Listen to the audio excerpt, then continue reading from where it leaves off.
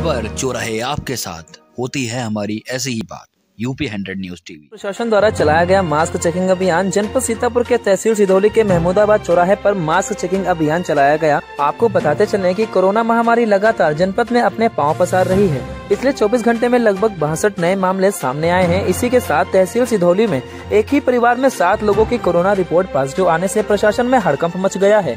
लोगों में कोरोना का खौफ नज़र नहीं आ रहा, इसलिए लोगों को जागरूक करने के लिए पुलिस प्रशासन ने मास्क चेकिंग अभियान चलाया और लोगों को जागरूक किया। मास्क न लगाने वाले लोगों के चालान कटे एवं अगली बार मास्क लगाकर निकलने की चेतावनी भी दी। जहाँ एक तरफ़ सिधौली पुलिस लोगों के मास्क न लगाने पर चालान काट रही है, वहीं दूसरी तरफ़ अपने कर्मचारियों को पूरी तरीके से छूट दे रखी है। ऐसा ही एक तस्वीर कोतवाली सिधौली के सामने आई है, जहाँ पर सिधौली कोतवाली में कार्यरत सिपाही न तो मास्क लगाए हुए दिख रहे हैं और न ही कोरोना की गाइडलाइंस को मान रहे हैं। क्या सारी गाइडलाइंस सरकार ने आम जनता के लिए ही बना रखी है? आम जनमानस से मास्क के नाम पर चालान के रूप में जो धन उगाही हो रही है, यह सिर्फ़ गरीब जनता को परेशान करने की कोई साजिश तो नहीं।